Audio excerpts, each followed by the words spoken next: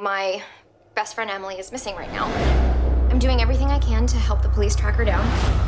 But I'm realizing I don't know her as well as I thought I did. I'm sorry, we're all really worried. A Simple Favor in theaters September 14th.